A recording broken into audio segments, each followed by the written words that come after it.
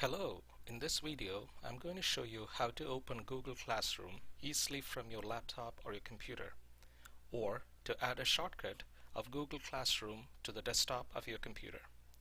So for that first you need to open Google Chrome and see that you're signed into the account that you're using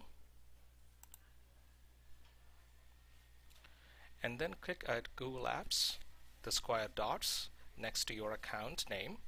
Click at that and scroll down to Google Classroom. Click at Google Classroom.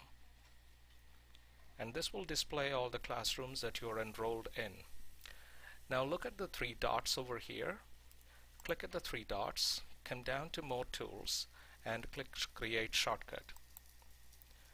So it will show classes and please check box this. Open as window and click create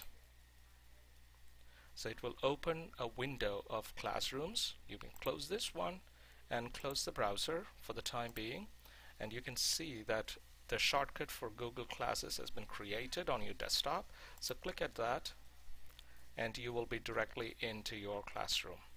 So from here, from the classroom that you are enrolled in, you can click at the classroom and then you will be inside your classroom. Thanks for watching.